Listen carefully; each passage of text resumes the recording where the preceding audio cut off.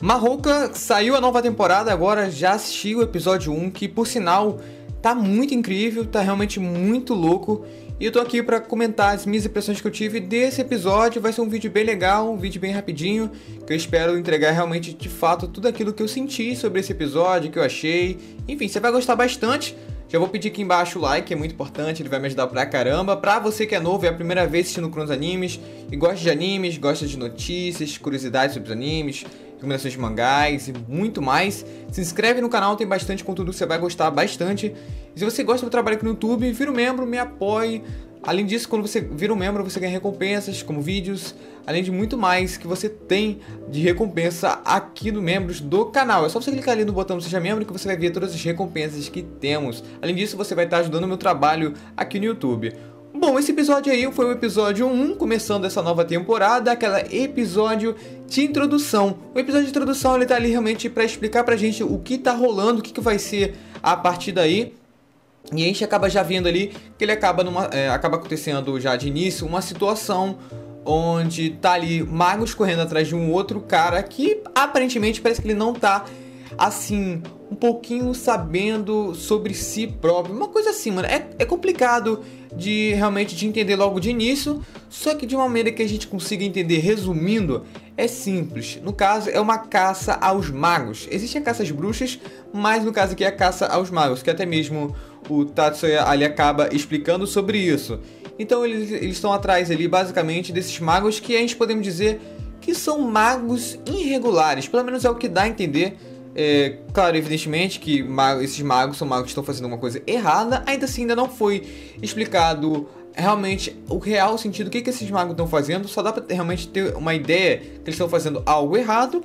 Só que essa questão toda aí tem um problema que acaba chamando a atenção, é que o Japão ele não pode ficar sabendo disso. No caso, os Estados Unidos ele está envolvido nisso para conseguir aí resolver esse problema, mas eles não querem contar. Aí que entra, né, no caso, a comandante Lina, que é uma pessoa assim estranha, né? Que no caso a gente acaba ali conhecendo ela de cabelo vermelho, só que aí quando ela tira a máscara, aquilo ali muda, né? Realmente aquilo ali foi bem incrível, não esperava que isso fosse acontecer. Até porque quando eu vi, no caso, aquele preview, né, que era um pequeno trailer dessa temporada, que mostrava simplesmente ela, não mostrava ela de verdade, sabe? Que ela é loura e essas coisas.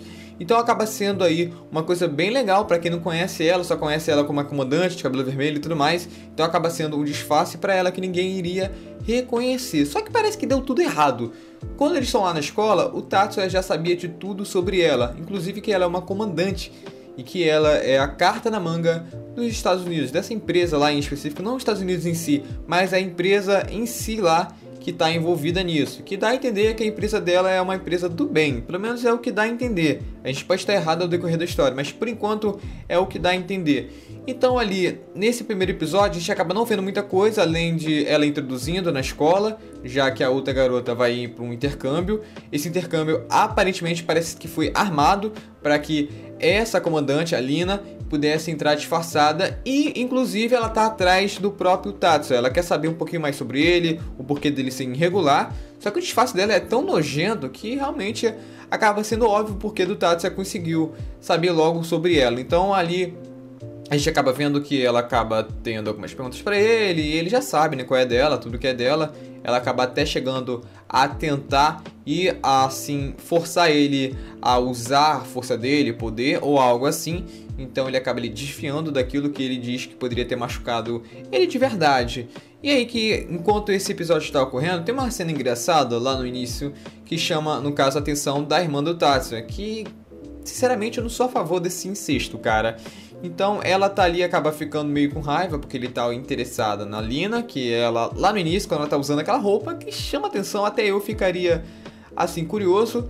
Então ali foi bastante engraçado, eu dei pra rir bastante. Eu não sou a favor desse incesto, mas enfim, mano. Aí que acaba basicamente o episódio ali com a Lina tendo um problema, que ela foi avisada pelo no caso, o cara que obedece a ela, que segue a ela, e ele estava avisando ali que os superiores avisaram que tinha esses magos lá no Japão, mais especificamente em Tóquio. Então ela tinha a responsabilidade de dar conta deles, deixando essa missão, essa primeira missão de saber mais sobre o Tatsa pra dar conta desses caras. E aí que tá, mano. Tudo já sabe, tudo já tá sabendo, tá, você já tá sabendo de tudo, quem ela é.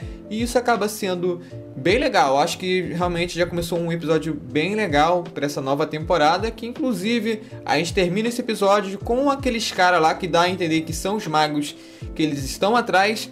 Dando bastante problema. E assim termina esse episódio. Foi um episódio bem legal. Eu vou deixando claro, isso aqui não é vídeo de análise, nem nada do tipo. Nem nada do tipo.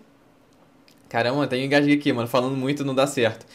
Então é um vídeo só de impressões do que eu achei desse episódio, que inclusive eu gosto bastante de Mahoka. É um anime que realmente me deixa com um hype danado. Quem acompanhou as lives que a gente tem aí no canal sabe muito bem que eu falei bastante sobre esse anime. Mas enfim, minhas impressões foram essa. Comenta suas aí nos comentários as suas impressões que você teve desse primeiro episódio. Vai ser bem legal trocar uma ideia com você. Deixa um like embaixo, vai me ajudar, principalmente a eu saber que você gosta desse tipo de anime aqui no canal porque eu trago mais frequente aqui no, no canal, tudo semanalmente, todo episódio eu trago aqui pra vocês, vocês vão gostar bastante. Então se inscreve aí, ativa o sininho também no canal para não perder. Assim que sair um novo vídeo, você vai ser avisado. Enfim, muito obrigado por estar aqui e eu vejo vocês no próximo vídeo. Caramba, mano, agora eu tava vendo. Deu 6 minutos. E eu pensando que eu já tava ali falando mais ou menos há uns 10 minutos, cara. É, isso é coisa de doido, velho. É coisa de doido porque às vezes eu acho que eu tô falando muito, mas às vezes eu acho que eu tô falando pouco, só que eu tô falando muito. E agora eu vou ficar. Eu tenho que ficar aqui até os 8 minutos, porque você sabe, né, mano? O YouTube é assim, é um saco, velho. É, agora eu tô. Eu não tô com a minha iluminação de sempre. Minha iluminação, cara, eu fui ligar, velho. Minha iluminação ela não quis pegar, velho. Eu falei, mano, o que, que aconteceu aqui, velho? Sorte minha que eu tenho uma iluminação extra. Só que essa iluminação, velho, é um saco, porque ela esquenta muito, velho. Aí se. Nossa, mano, pra quem mora no Rio, principalmente, faz aquele calor desgraçado, velho. É, mano, é triste, velho. Eu tô esperando aqui dar os 8 minutos, porque. ah, enquanto isso eu vou aqui. Ver o que, que tem de bom aqui no computador. Até a gente dar os 8 minutos. Tem bastante anime nessa nova temporada. Vocês estão vendo aí os, os animes que tá saindo no canal, velho? Tem bastante anime que tá saindo no canal, velho. Ó, saiu Damate, que eu postei hoje, no dia 3. Vocês devem estar tá vendo esse vídeo no dia 4. É, saiu também o Garashi, né? Que é o reboot. Muito legal também, por sinal. É, teve vídeo há dois dias atrás é, de quarta temporada de Oregari, se vai ter ou não. Bem legal, inclusive. Também lancei essa semana aí, a semana passada, é, vídeos sobre chances de nova temporada dos animes da, semana, da temporada anterior. Vocês viram, velho? Porra, velho, tem bastante conteúdo legal. Vocês vão gostar, velho. Deu 8 minutos. Finalmente, velho, deu 8 minutos. Muito obrigado. E agora eu já posso me retirar, graças a Deus, velho. Graças a Deus.